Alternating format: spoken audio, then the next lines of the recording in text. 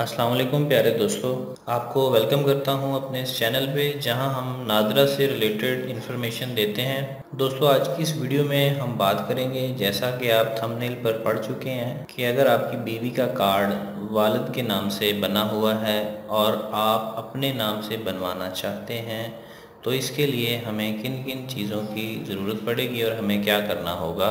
दोस्तों, बीवी का कार्ड खावंद के नाम से बनवाना इंतहाई आसान है और जो चीज़ें इसके लिए चाहिए वो मैं आपको बता देता हूँ। दोस्तों, सबसे पहले बीवी का असल शनाख्ती कार्ड उसके पास होना चाहिए। दूसरे नंबर पे खावंद का कार्ड उसके पास होना चाहिए और तीसरे नंबर पे निकाह नामा वो भी उनके पास होना चाहिए। चाहे वो काजी वाला ही हो, वो ही चल जाएगा। कंप्यूटर वाला अगर नहीं भी बना, तब भी कोई मसला नहीं है। ये तमाम चीज़ें आपने लेकर अपने करीबी नादरा ऑफ़िस चले जाना है और साथ में आपको किसी को भी लेके जाने की ज़रूरत नहीं है। यानी अगर आपकी बीवी अकेली ही नादरा दफ्तर चली जाए, तब भी उसका कार्ड खामद के नाम से अप्लाई हो जाएगा।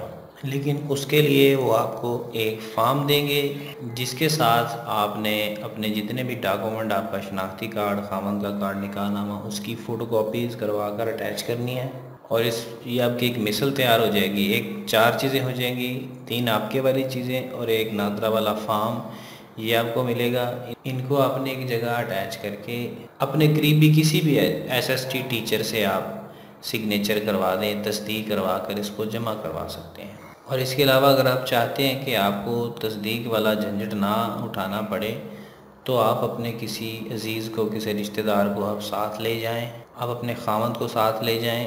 खामद की वहीं अटेस्टेशन हो जाएगी, वो आपकी तस्दीक कर देगा और आपका फार्म वहीं का वहीं जमा हो जाएगा। आपको तस्दीक के लिए नहीं दिया जाएगा। ये एक छोटी सी इन्फॉर्मेशन आपके लिए थी। लोग ज़्यादातर बहुत बड़ा मसला समझते हैं कार्ड बनवाने का। सिर्फ़ डॉक्यूमेंट का पता होना चाहिए और कोई मसला ही नहीं है।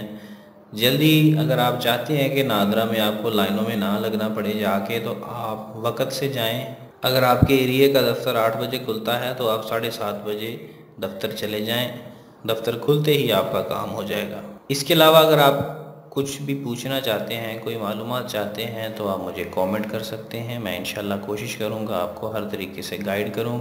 वीडियो देखने का बहुत शुक्रिया। मज़ीद ऐसे ही वीडियो देखने के लिए हमारे चैनल को सब्सक्राइब कर लें और साथ में बेल आइकन के बटन पर भी क्लिक करके नोटिफिकेशन ऑन कर लें। मिलते हैं इंशाल्लाह अपनी अगली वीडियो में। तब तक के लिए अल्लाह हाफिज़।